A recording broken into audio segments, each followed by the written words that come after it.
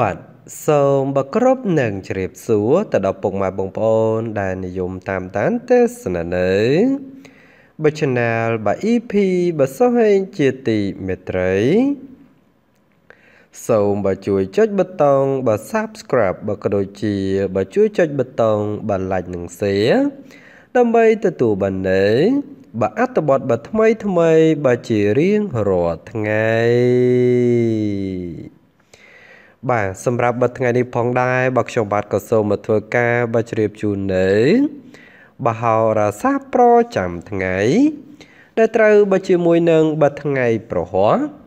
បទទី15ខែមិថុនាឆ្នាំ2023នេះបាទ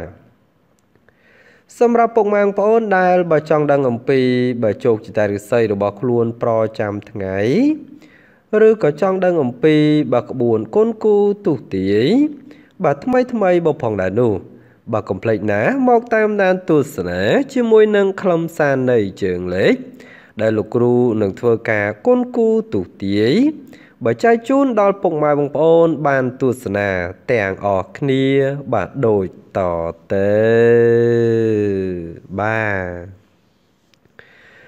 បើយើងបើក្រឡេកមកមើលបើក្បួនបើយាមក្រឡាបាទ តើតើងជាមួយនឹងក្បួនយាមក្រឡានេះផងដែរបើគឺជាក្បួនក្នុងការមើលពេលវេលាដែលត្រូវធ្វើដំណើរថាតើនាថ្ងៃប្រហ័សត្រូវនៅថ្ងៃបើទី15បើខែមិថុនាឆ្នាំ2023នេះលោកអ្នកគួរតែចេញដំណើរចំពេលវេលាណាមួយ ដើម្បីបើទទួលបាននៅលៀបជ័យសិរីសស្ដីបាទដោយសារតែបើក្បួនយាមក្រឡា បាទវេលាពេលព្រឹក បាទចាប់ពីម៉ោង6:00ដល់ម៉ោង8:24នាទីនាថ្ងៃប្រហ័សនេះ បាទគឺជាពេលវេលាបើគ្រោះថ្នាក់បាទចំពោះពេលពេញពន្លឺចាប់ពីម៉ោង8:24នាទី ដល់ម៉ោង10:48នាទីនោះគឺជាពេលវេលាធម្មតា ដោយឡែកចំពោះពេលថ្ងៃត្រង់ចាប់ពីម៉ោង10:48នាទីដល់ម៉ោង1:12នាទីនោះ គឺជាពេលវេលាសេរីហើយសម្រាប់ពេលរសៀលបើចាប់ពីម៉ោង1:12នាទីនោះ ដល់ម៉ោង3:36នាទីនោះ គឺជាពេលវេលាទុកសោកហើយសម្រាប់ពេលល្ងាចចាប់ពីម៉ោង3:36នាទីដល់ម៉ោង6:00បាទគឺជាពេលវេលាលៀបជ័យបាទ អញ្ចឹងហើយសម្រាប់ពុកម៉ែបងប្អូនទាំងអស់គ្នាបើយើងធ្វើការបើត្រួតពិនិត្យមើលក្បួនបើយាមក្រឡា យើងប្រកាសជាឃើញយ៉ាងច្បាស់ថា គឺមានពេលវេលាដែលល្អមានពេលវេលាដែលមិនល្អអញ្ចឹងហើយគឺតម្រូវពុកម៉ែបងប្អូនត្រូវតែធ្វើការជ្រើសរើសយកពេលវេលាល្អល្អពេលវេលាដែលមានហុងស៊ុយទាំងអស់គ្នា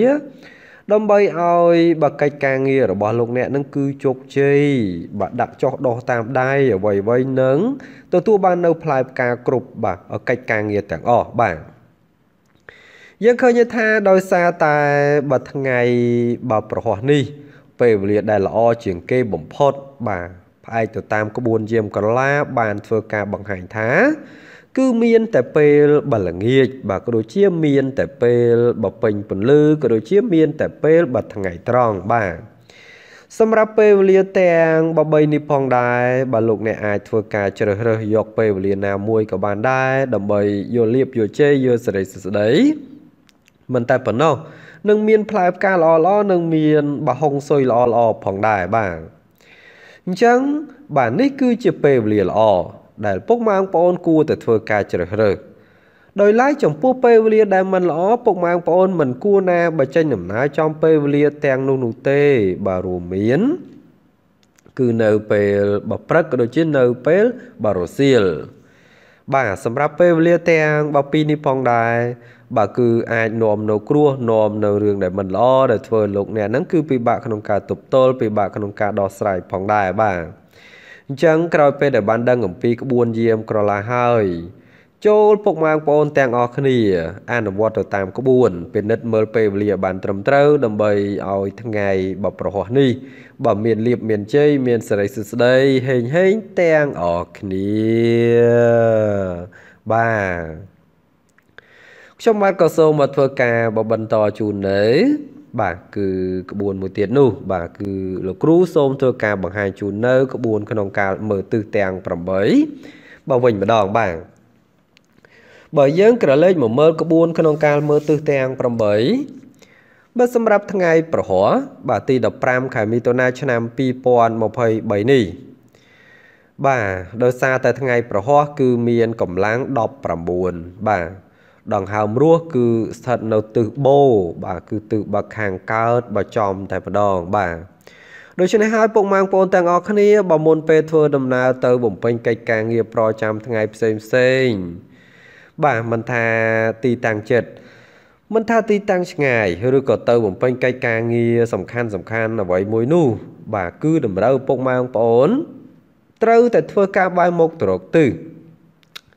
ដែលជាដង្ហើមរស់ប្រចាំថ្ងៃនេះជាមុនសិនបាទគឺទិសបូនេះជាមុនបាទជាមុនសិនឬក៏ទិសខាងកើតនេះជាមុនសិនហើយសឹមបាទចេញដំណើរទៅបំពេញកិច្ចការងារតាមក្រោយចោះបាទកាលណាឪពុកម៉ែបងប្អូនធ្វើការបែរមុខទៅរកទិសបូនេះរួចហើយមានន័យថាពុកម៉ែបងប្អូនបានបំពេញនៅកាតព្វកិច្ចមួយដ៏សំខាន់ ដោយបានស្រូបយកនៅធម៌ពលស្រូបយកនៅសេរីសុស្ដីស្រូបយកនៅរឿងល្អល្អស្រូបយកនៅរដ្ឋិអំណាចក្នុងការការពារក្នុងការថែរក្សាដល់កិច្ចការងាររបស់ពុកម៉ែបងប្អូនផងដែរបាទមិនមានអ្វីពីបាននោះទេចូលអនុវត្តទៅតាមក្បួនទាំងអស់គ្នាដើម្បីយកលៀបយកជ័យយកសេរីសុស្ដីហេងហេងបាទចូលអនុវត្តទៅតាមក្បួន បាទរីរាយថ្ងៃប្រហ័សទាំងអស់គ្នាបាទ ខ្ញុំបាទក៏សូមធ្វើការបបន្តជូននៅ បាទគឺក្បួនមួយទៀតនោះគឺតេតើងជាមួយនឹងបហោរាសាសប្រចាំថ្ងៃបាទបើយើងនិយាយអំពីបហោរាសាសប្រចាំថ្ងៃសម្រាប់ពុកម៉ែបងប្អូនដែលកើតនៅក្នុង3ឆ្នាំជាដំបូងគេនេះបាទគឺត្រូវជាមួយនឹងបើអស់លោកអ្នកបើដែលកើតនៅក្នុង3ឆ្នាំជូតរាសីរបស់លោកអ្នកដែលកើតនៅក្នុង3ឆ្នាំជូត បាទនាថ្ងៃបប្រហោះ ទី15បើខែមិថុនាឆ្នាំ2023នេះបើឆ្នាំជូតដោយសារតែមានធាតុទឹកដោយសារតែមានពងគឺទេវតាប្រុសឬស័យរបស់លោកអ្នកនោះឃើញថាគឺបើល្អជាមធ្យមនោះទេបាទតើតើងជាមួយនឹងការរស់នៅ មានភាពបសុខដុមដូច្នេះបាទពុកម៉ែបងប្អូនដែលកើតនៅក្នុងបើឆ្នាំបើជូតបាទឃើញថាបើកបប្រសើរដោយសមមួយដង ពុំមានអ្វីប្រែប្រួលបដូរផ្លាស់បើគួរជាទីកត់សម្គាល់ទេ បើអស់លោកអ្នកដែលកើតឆ្នាំជូតនេះបាទដោយឡែកចំពោះបកិច្ចការងារយើងឃើញថាការប្រកបកិច្ចការងារបើពុំមានអ្វីចូលមកប៉ះទង្គិចគួរឲ្យកត់សម្គាល់នោះទេប៉ុន្តែយ៉ាងណាការប្រកបកិច្ចការងារតោងតែងប្រយ័ត្នប្រយែងបើក្រុមមនុស្សបាទប្រមិតផងដែរ ពីព្រោះបើការប៉ងអាក្រក់របស់គេ នៅតែមានបើឥតទៅឥតសូវធូរស្បើយនោះឡើយបាទចំពោះការធ្វើជំនួញយើងឃើញថាចំពោះអ្នកប្រកបរបររកស៊ីជួញដូរវិញ មានការតែងចូលលក់ចែងក្ររស់រវើកបន្តិចហើយការជួញឆ្ងាយទិសោតក៏តែងតែហុចនៅលទ្ធផលផលកម្រៃជាជាងជួញចិត្តបជានិច្ចផងដែរបាទ ដោយឡែកចំពោះបញ្ហាសេចក្តីស្នេហាប្រុសស្រីកំឡោះក្រមុំបើចូលបប្រយ័ត្នកើតមានការរង្គោះរង្គើព្រោះតែអ្នកទី3ចូលមកលោកឡំបាទចានេះគឺជាជោគជតារាសីរបស់លោកអ្នកដែលកើតនៅក្នុង3ឆ្នាំសัตว์កណ្ដុលបាទគឺឆ្នាំជូតរាសីនាថ្ងៃប្រហោះនេះបាទខ្ញុំបាទក៏សូមធ្វើការគុនគូទុះទាយនៅជើងលេខសម្រាប់ឆ្នាំបកំណាត់ជាបន្តទៅទៀតបាទគឺត្រូវជាមួយនឹងបើអស់លោកអ្នក ដែលកើតឆ្នាំឆ្លូវបាទរាសីរបស់លោកអ្នកដែលកើតឆ្នាំឆ្លូវនាថ្ងៃបប្រហ័សទី15ខែមិថុនាឆ្នាំ2023នេះបើឆ្នាំឆ្លូវដោយសារតែមានធាតុដីដោយសារតែមានពងគឺបើមនុស្សប្រុសរាសីរបស់លោកអ្នកនោះឃើញថា គឺបើខ្ពស់ត្រដែតតែម្ដងបាទ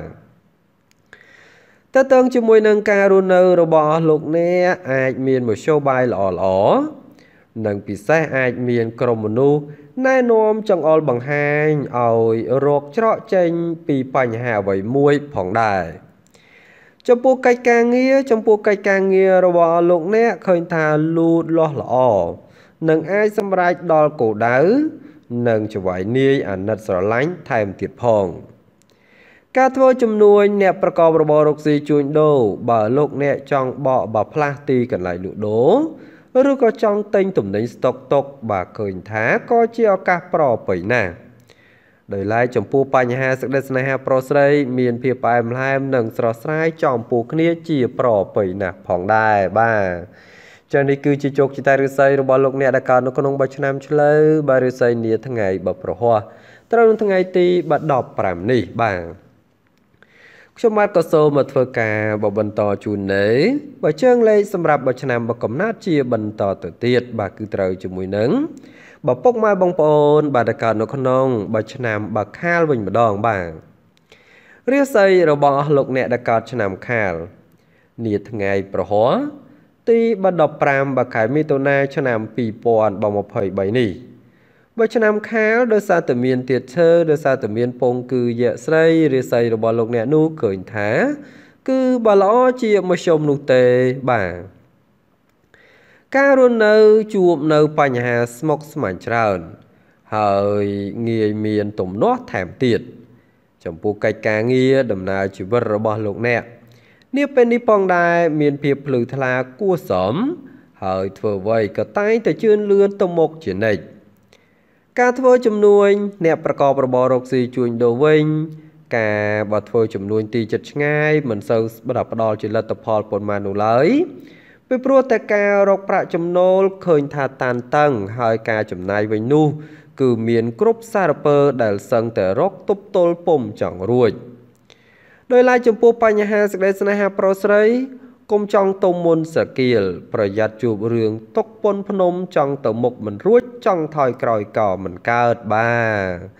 អញ្ចឹងនេះគឺជាជោគជតារិស័យរបស់លោកអ្នកដែលកើតនៅក្នុងបិឆ្នាំខាលបើរិស័យនាថ្ងៃប្រហោះត្រូវថ្ងៃទី15នេះបាទខ្ញុំបាទក៏សូមមកធ្វើការគុណគូទូទាយនៅជើងលេខសម្រាប់ឆ្នាំបកំណាត់ជាបន្តទៅទៀតបាទគឺត្រូវជាមួយនឹង បើពុកម៉ែបងប្អូនដែលកើតនៅក្នុងបើឆ្នាំថោះវិញម្ដងបាទរាសីរបស់លោកអ្នកដែលកើតនៅក្នុងបើឆ្នាំថោះនាថ្ងៃប្រហ័សទី15ខែមិថុនាឆ្នាំ2023នេះអស់លោកអ្នកដែលកើតនៅក្នុងបើឆ្នាំថោះដោយសារតែមានធាតឈើដោយសារតែមានពងគឺបើមនុស្សស្រីរាសីរបស់ពុកម៉ែបងប្អូននាថ្ងៃនេះឃើញថាគឺធ្លាក់ស្រុតចុះបាទ តើតើជាមួយនឹងការរស់នៅរបស់លោកអ្នកបាទធ្វើអ្វីក៏តែងទៅទទួលរងនៅការប៉ះទង្គិចហើយបើពិសេសងាយរងគ្រោះត្រូវគេចោទប្រកាន់ថែមទៀតផងចំពោះកិច្ចការងារលោកអ្នកមានកិច្ចការងារថ្មីច្រើន ចូលមកធ្វើឲ្យបើជួបនៅបញ្ហាលំបាកបើត្រូវឆ្លងកាត់ហើយការធ្វើជំនួញអ្នកប្រកបរបររកស៊ីជួញដូរនៅក្នុងថ្ងៃនេះដែរមានភាពលំនឹងល្អ ហើយទោះជួញទីចិត្តឆ្ងាយអាចរកផលកម្រៃចូលមួយមួយគ្រាន់សម្រាប់បកាចាយវាយអញ្ចឹងផងដែរបញ្ហាសេចក្តីស្នេហាប្រុសស្រី បាទគឺកុំកបីយកភាពប្រកែប្រកាន់និងកំហឹងបាទគឺទល់ជាមួយនឹងកំហល់ដាក់ខ្លួន ប្រយ័ត្នកើតនៅរឿងចំនួនវិទ្យឥតឈប់ឈរហើយឈានមិនដល់ខ្លងទ្វាអពីពិពាបាទ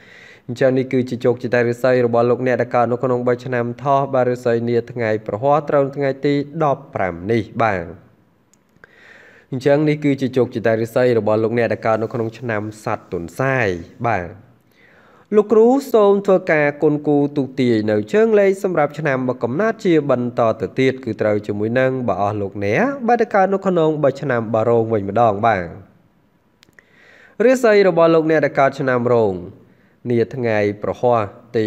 15ខែមិថុនាឆ្នាំ2023នេះបើឆ្នាំរងដោយសារតែមានធាតមាសដោយសារតែមានពងគឺទេវតាប្រុសរាសីរបស់លោកអ្នកនោះឃើញថាគឺបើខ្ពស់ត្រដែតត្រដើមបាទ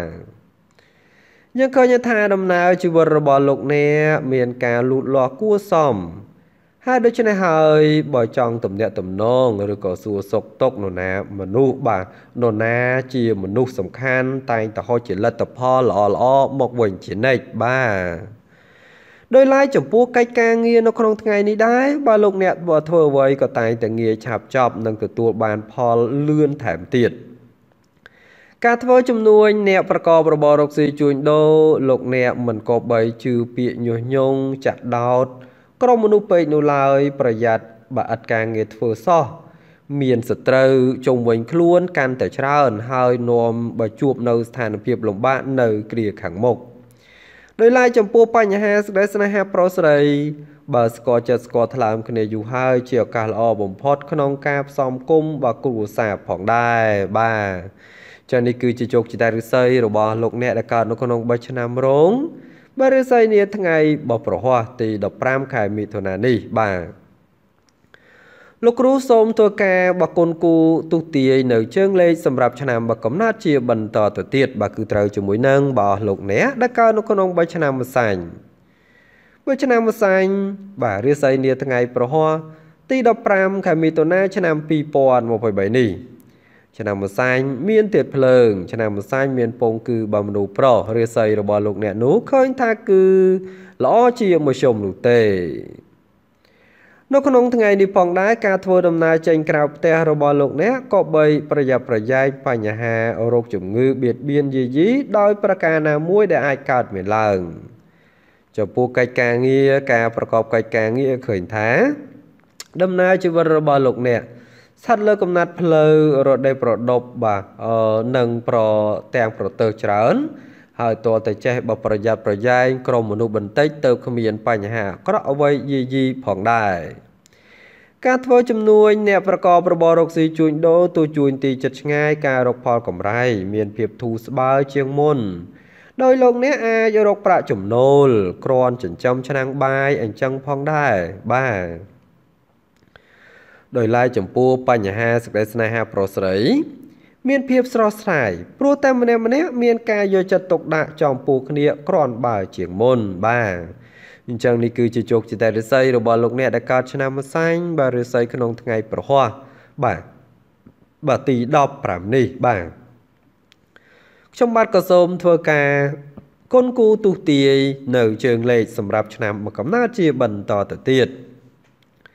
គឺយើងឈានជើងចូលដល់បើអស់លោកអ្នកបាទដែលកើតនៅក្នុងបើឆ្នាំបើមមីវិញម្ដងបាទបាទអំពីជោគជតារិស័យរបស់លោកអ្នកដែលកើតឆ្នាំមមីបាទទុះទាយនាថ្ងៃប្រហ័សទី15ខែមិថុនាឆ្នាំ2023នេះឆ្នាំមមីមានទៀតភ្លើងឆ្នាំមមីមានពងទេវតាស្រីបាទរិស័យរបស់លោកអ្នកនោះឃើញថាបាទគឺបើធ្លាក់ស្រុតចុះផងដែរបាទ នៅក្នុងពេលវេលានេះផងដែរលោកអ្នកទទួលរងនៅសម្ពាធផ្លូវចិត្តច្រើនបន្តិចហើយបញ្ហាក្នុងក្រុមគ្រួសារមួយចំនួន ស្រាយមិនចេញទៅទៀតបាទចំពោះកិច្ចការងារលោកអ្នកតតែខិតខំខ្លាំងទៅបើសម្រាប់ជោគជ័យកិច្ចការងារមួយចំនួនទៅរួចការធ្វើជំនួញអ្នកអាជីវករក្នុងថ្ងៃនេះទោះមានការជួញទីចិត្តឆ្ងាយ ជួបនៅបញ្ហារាំងស្ទះនិងពិសេសងាយកើតនៅបញ្ហាជាមួយនឹងអ្នកដទៃថែមទៀតផងបញ្ហាសេចក្តីស្នេហាប្រុសស្រីកំឡោះក្រមុំឬក៏ពូម៉ែម៉ែក្តីបើចង់ធ្វើការជ្រើសរើសគូស្រករពុំសូវជាល្អទេព្រោះច្រើនជួបគូកាមបើជាជាងគូប្រេងផងដែរបាទអញ្ចឹងនេះគឺជាជោគជ័យឫស្សីរបស់លោកអ្នកដែលកើតឆ្នាំមមីបាទឫស្សីក្នុងថ្ងៃប្រហ័សទី15នេះបាទ ខ្ញុំបាទក៏សូមមកធ្វើការបកគុណគូទុទាយនៅជើងលេខសម្រាប់ឆ្នាំបកំណាត់ជាបន្តទៅទៀតបាទគឺត្រូវជាមួយនឹងបើអស់លោកអ្នកដែលកើតឆ្នាំមម៉ែរាសីនាថ្ងៃប្រហ័សទី15ខែមិថុនាឆ្នាំ2023នេះឆ្នាំមួយម៉ែដោយសារតែមានទៀតមាសដោយសារតែមានពងទេវតាស្រីឬស្រីរបស់លោកអ្នកនោះឃើញថា គឺធ្លាក់ស្រុតចុះបាទ ការរស់នៅរបស់លោកអ្នកអាចជួបប្រទះនៅរឿងរ៉ាវបខ្វាយខ្វល់និងពិសេសអាចត្រូវគេចោទប្រកាន់ក្នុងរឿងអ្វីមួយថែមទៀតផងចំពោះកិច្ចការងារនៅក្នុងថ្ងៃនេះបើលោកអ្នកចង់ពឹងពាក់ឬក៏ខ្ចីរបស់អ្វីមួយពីសំណាក់អ្នកដតីឃើញថាមិនឆ្លើយតបដោយគោលបំណងប៉ុន្មាននោះទេ គឺតែងតែខកបំណងខ្លះខ្លះនាំមិនសូវជាសុខស្រួលចិត្តប៉ុន្មានសោះឡើយ ដោយឡែកការធ្វើជំនួញសម្រាប់បើជាអ្នកប្រកបរបររកស៊ីជួញដូរមិនត្រូវបោះតនអ្វីមួយដោយតក់ក្រហល់នោះឡើយ ហើយត្រូវចេះបាទគឺពិនិត្យឲ្យបានគ្រប់ជ្រុងជ្រោយបាទប្រយ័ត្នជួបរឿងសយបោះតុនទៅហើយឃើញថាសូនជ្រើងរកតែដើមមកវិញគឺមិនឃើញដោយឡែកចំពោះបញ្ហាបើសេចក្តីស្នេហាប្រុសស្រី មានការរកាមរកោស ព្រោះជួនត្រូវរើគ្នាព្រោះជួនទាស់តែងគ្នាបាទចឹងនេះគឺជាជោគជតារិស័យរបស់លោកអ្នកដែលកើតឆ្នាំមុំម៉ែបាទរិស័យក្នុងថ្ងៃប្រហ័សទី15នេះបាទខ្ញុំបាទក៏សូមធ្វើការគុណគូទុទាយនៅជើងលេខសម្រាប់ឆ្នាំបកំណើតជាបន្តទៅទៀតគឺត្រូវជាមួយនឹងបើលោកអ្នកដែលកើតឆ្នាំវករាសីនាថ្ងៃប្រហ័សទី15ខែមិថុនាឆ្នាំ2023នេះ ឆ្នាំវកដោយសារតែមានធាតដៃដោយសារតែមានពងគឺយៈប្រុសរាសីរបស់លោកអ្នកនោះឃើញថា គឺបាក់ខ្ពស់ត្រដាតតែម្ដងបាទតើតើជាមួយនឹងការរស់នៅ ក្នុងថ្ងៃនេះដំណើរជីវិតរបស់លោកអ្នកឃើញថាល្អប្រសើរម្ល៉េះហើយរាល់ឧបទ្រពចង្រៃតែងតែរត់ចេញ ហើយរឿងរ៉ាវល្អៗតែងតែរត់ចូលមកជំនួសវិញ ចំពោះកិច្ចការងារក្រៅពីនេះដែរបើមានការប្រកបកិច្ចការងារលោកអ្នកនៅមានរឿងរ៉ាវល្អៗគួរឲ្យសប្បាយចិត្តកើតមានឡើងផងដែរការធ្វើចំនួនចំណែកអ្នកប្រកបរបររកស៊ីជួញដូរបាទការជួញទីចិត្តឆ្ងាយវិញមានភាពបកកបគួសម ហើយបើចង់ជួញដូរផ្លូវឆ្ងាយទិសោតក៏តែងតែផ្ដល់ជាលទ្ធផលផ្លែផ្កាគ្រាន់ជាទីកក់ក្ដៅមកថែមទៀតផង ដោយឡែកចំពោះបញ្ហាសេចក្តីស្នេហាប្រុសស្រីកំឡោះក្រមុំឬក៏ពូម៉ែម៉ែក្តីមានភាពស្រស់ស្រាយប្រៀបដូចជាត្រីក្នុងទឹកអញ្ចឹងផងដែរបាទចឹងនេះគឺជាជោគជតារិស័យរបស់លោកអ្នកដែលកើតឆ្នាំវកបាទរិស័យនាថ្ងៃប្រហ័សទី15នេះបាទខ្ញុំបាទក៏សូមធ្វើការបគុណគូទុទាយនៅជើងលេខសម្រាប់ឆ្នាំបកំណើតជាបន្តទៅទៀតគឺត្រូវជាមួយនឹងបាទលោកអ្នកដែលកើតឆ្នាំរកា រាសីនាថ្ងៃ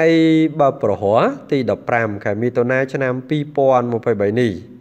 ឆ្នាំរកាដោយសារតែមានធាតដៃដោយសារតែមានពងគឺយៈប្រុសរាសីរបស់លោកអ្នកនោះឃើញថាគឺបើធ្លាក់ស្រុតចោលបាទនៅក្នុងថ្ងៃនេះលោកអ្នកតោងតែរក្សានៅសេចក្តីសុខដោយត្រូវចេះទប់ចិត្តសង្កត់អារម្មណ៍និងមិនត្រូវបង្កបញ្ហាដាក់ខ្លួននោះឡើយពីព្រោះថាងាយកើតជាបញ្ហាចូលយីយីជាងសពមួយដង ចំពោះកិច្ចការងារការប្រកបកិច្ចការងារទទួលកំហុសឆ្គងនិងពិសេសចូលប្រយ័ត្នបើមានចំនួនវិវាទដោយប្រការណាមួយកើតមានឡើង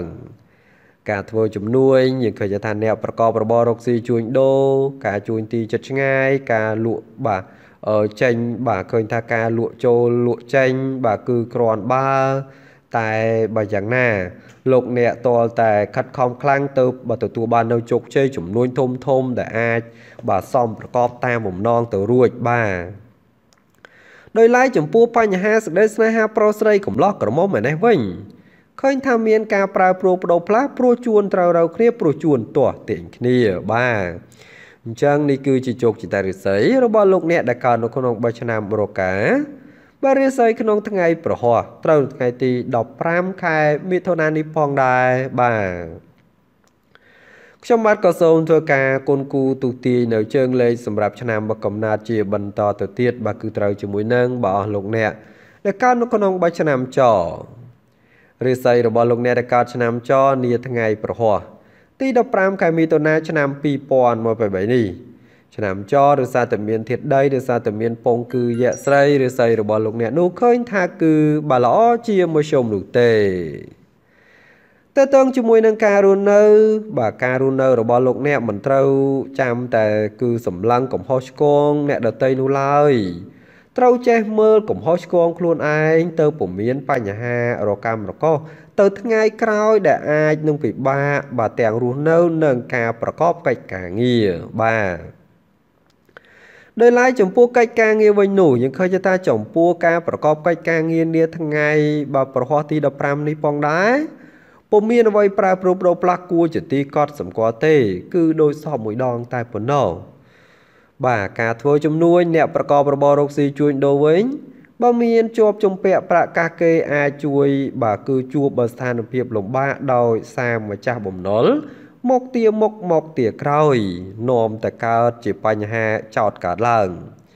ដោយឡែកចំពោះបញ្ហាសេចក្តីស្នេហាប្រុសស្រីកំឡោះក្រមុំបើចង់ទំនាក់ទំនងជាមួយនឹងនរណាម្នាក់កំឡុងពេលនេះ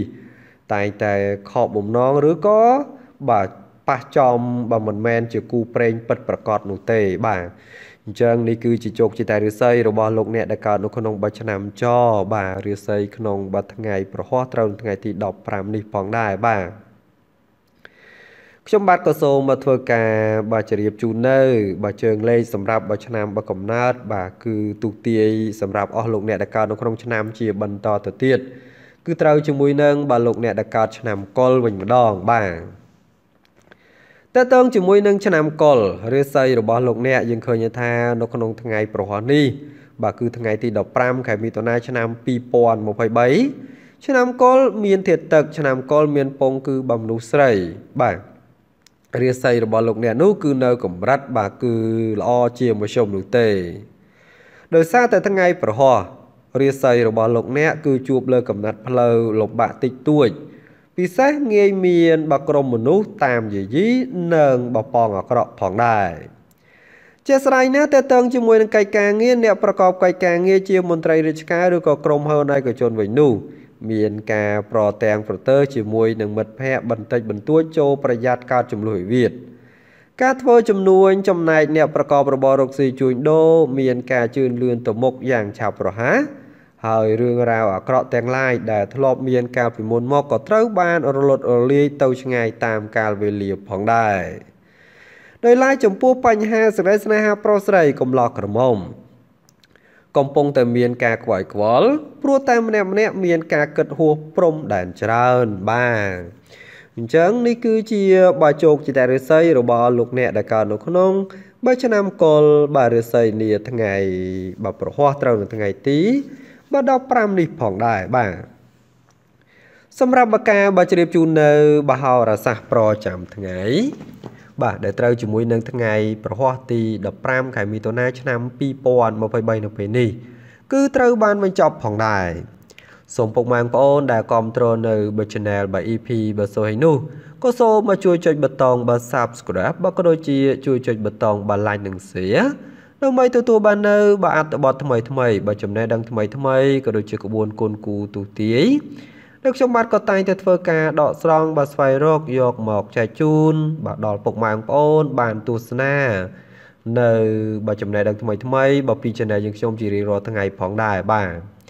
ពីខ្ញុំបាទក៏សូមអរគុណនិងសូមជម្រាបលា យើងនៅវិលមកជួបពុកម៉ែបងប្អូននៅអត្ថបទល្អល្អអត្ថបទថ្មីថ្មីក្រោយក្រោយទៀតបាទសូមបាទអរគុណ